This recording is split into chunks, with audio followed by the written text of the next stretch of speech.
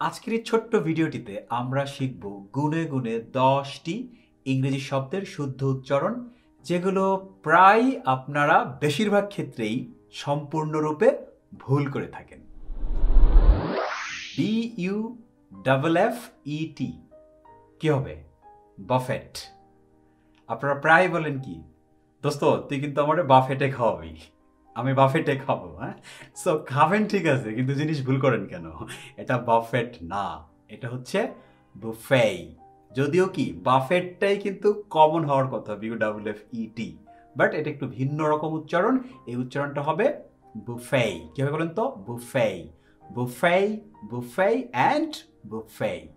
যেমন ধরুন the are a lot of buffet restaurants in Dhaka মনে থাকবে no more buffet always buffet এই শব্দটা আমরা কীভাবে উচ্চারণ করি?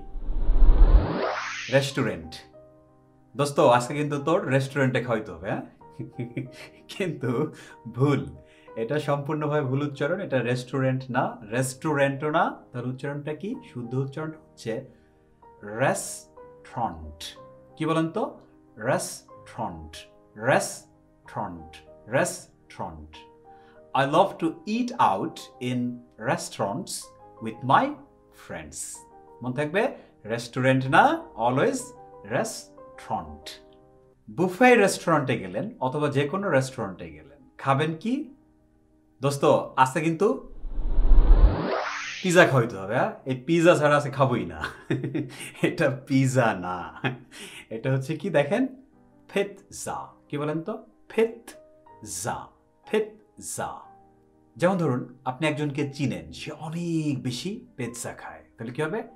She loves to eat pizza I love to eat pizza মনে থাকবে it's called pizza not pizza or pizza it's pizza সে না হয় পিৎজা খেতে খুব পছন্দ করে।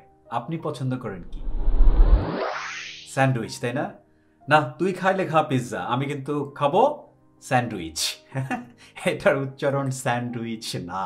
উচ্চারণটা কি? উচ্চারণটা খুবই সহজ, খেয়াল করেন। স্যান্ডউইচ। কি বলেন তো? Sandwich. Sandwich. Sandwich.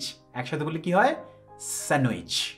I love to eat sandwich I love to eat sandwich not pizza মনে থাকবে?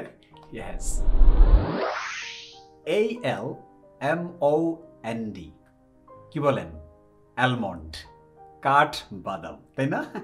কাঠ বাদাম ইংরেজি আমরা সবাই বলি অ্যালমন্ড কিন্তু মজার ব্যাপার হচ্ছে কিংবা দুঃখের ব্যাপার হচ্ছে এই এলটা উচ্চারণ হবেই না। তাহলে এটার শুদ্ধ উচ্চারণটা কি খেয়াল করেন? আমন্ড কি বলেন তো? Almond almond almond almond every day I eat some almonds তার মানে কি? প্রতিদিন আপনি কিছু কাঠবাদাম খান right okay so it's not almond এটা হচ্ছে আমন্ড আমন্ড মনে থাকবে? অনেক এগুলো খেয়েছি, এবার চলেন একটু ভেজিটেবল খাই। কি খাই? ভেজিটেবল তাই না? আমরা কি বলি? যে, আমি ভেজিটেবল খুব পছন্দ করি। একদম না না, আমি একদম ভেজিটেবল পছন্দ করি না। উচ্চারণটা আসলে ভেজিটেবল না, তাহলে কি? খেয়াল করেন। ভেজটেবল ভেজটেবল ভেজটেবল ভেজটেবল ইট মিনস ভিই জিই ওই জি এর পরে যে ইটা সেটাকে জাস্ট বাদ দিয়ে দিবেন উচ্চারণের সময়। তাহলে কি হবে? ভেজটেবল ভেজটেবল খেয়াল করুন vegetable I don't love to eat vegetables do you love to eat vegetable তাহলে কমেন্ট করেন। ওকে সো ভেজিটেবল বলুন তো এটা কি পাতা? কি দেখতে পাচ্ছেন পিকচারে ইয়াস আমরা সবাই জানি এটা হচ্ছে লেটুস কি বলেন তো? লেটুস দোকানে যাবেন আর লেটুস পাবেন। বিশেষ করে শীতের দিনে তো বাংলাদেশে একেবারে লেটুস আর লেটুস উচ্চারণটা কিন্তু লেটুস না। তাহলে কি? খেয়াল করেন, এটা লেটুস না, উচ্চারণটা হচ্ছে ল্যাটিস ল্যাটিস কি বলেন তো? ল্যাটিস ল্যাটিস মন থাকবে? লেটুস না ল্যাটিস ল্যাটিস ল্যাটিস যেমন ধরুন বললাম lettuce is used in burger. তার মানে কি? বার্গারের মধ্যে লেটিস ব্যবহার করা হয়। সো আজকে থেকে এটা লেটুস না। কি হবে? Lettuce lettuce the next word is W E D N E S D A Y কি হবে? ওয়েটনেসডে ছোটবেলা থেকে আমরা শিখছি কি?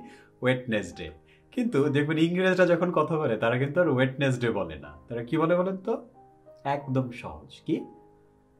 ওয়েন্সডে ওয়েন্সডে কি বলে বলেন তো? ওয়েন্সডে ওয়েন্সডে অর্থাৎ ডিটা বাদ হবে আর উচ্চারণটা আমার মতো হবে। কি? Wednesday Wednesday I'm gonna meet you on Wednesday. I'm gonna meet you on Wednesday. No, I'm gonna meet you on Wednesday. Wednesday বললে কিন্তু আসবে না মিট করতে। The next word we're gonna learn is কি against অনেক স্টুডেন্টদেরকে দেখি, তারা এই ওয়ার্ডটাকে উচ্চারণ করে কি? অ্যাগেনেস্ট কি বলেন তো? অ্যাগেনেস্ট আপনি করেন কি না? অ্যাগেনেস্ট এটা একেবারেই ভুল উচ্চারণ হ্যাঁ? এটা অ্যাগেনেস্ট না, এটা হচ্ছে অ্যাগেনস্ট কি বলেন তো? অ্যাগেনস্ট অ্যাগেনস্ট অ্যাগেনস্ট মনে থাকবে? তাহলে উচ্চারণটা হলো against let's have a sentence আর এই অ্যাগেনস্ট মানে কি? বিপক্ষে। আম অ্যাগেনস্ট অ্যাগেনেস্ট তার মানে কি? আমি অ্যাগেনেস্টের বিপক্ষে। ওকে তার মানে হচ্ছে আপনি আজকে থেকে আর অ্যাগেনেস্ট উচ্চারণ করবেন না। করবেন কি? অ্যাগেনস্ট অ্যাগেনস্ট মনে থাকবে? So last but not least আমরা চলে আসলাম দশ নম্বর ওয়ার্ডে এবং এই ওয়ার্ডটি হবে কি? হিস্টোরি তাই না? H I S his T O R Y কি হবে? হিস্টোরি নো আসলে যেটা হবে উচ্চারণটা হিস্ট্রি কি বলেন তো? হিস্ট্রি অর্থাৎ ওটা বাদ হয়ে যাবে। তাহলে কি হবে? হিস্ট্রি হিস্ট্রি হিস্ট্রি একেভাবে আমরা বলব কি? বাউন্ডারি না, কি বলতো বাউন্ডারি বাউন্ডারি কেন তামিম বাউন্ডারি মারছে নো তামিম বাউন্ডারি মারছে মনে থাকবে? সো গাইস এই ওয়ার্ডগুলো, যেগুলো আমরা ভুল উচ্চারণ করতাম, এগুলো আমরা শুদ্ধ উচ্চারণ শিখে ফেললাম। আপনি যে কাজটি করবেন, সেটা হচ্ছে কি, প্রত্যেকটা ওয়ার্ড শুনবেন আর কি করবেন? একটু পজ দিবেন পজ দিয়ে আমি যেভাবে বলি, এভাবে কি করবেন? তিন চারবার করে করে জোরে জোরে কি করবেন আপনি বলবেন। দেখবেন এই সবগুলো উচ্চারণ আপনার একেবারে চিরদিনের জন্য ঠিকঠাক হয়ে যাবে। So guys, if you like this video, please share with others so that everybody in Bangladesh can learn it properly. Okay? So next video দেখার আমন্ত্রণ জানিয়ে আজকের মতো বিদায় নিচ্ছি বাই বাই